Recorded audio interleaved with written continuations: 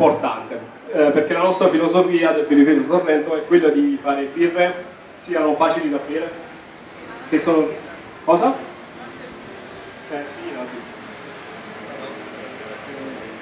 eh, birre di facile approccio che, ha, che possano avvicinare alle birre eh, anche chi non ha bevuto birra, birra artigianale eh, birre che si lasciano bene ma che comunque abbiano qualcosa da dire, abbiano una personalità, come diciamo noi semplici ma non banali, quindi sono birre che vanno anche abbinate.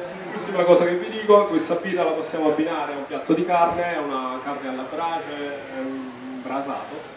Uh, mentre l'altra che facciamo la chiara con uh, la nota cromata dovuta alle bucce del limone andiamo più sui piatti di pesce, una frittura di pesce, una mozzarella di bufala.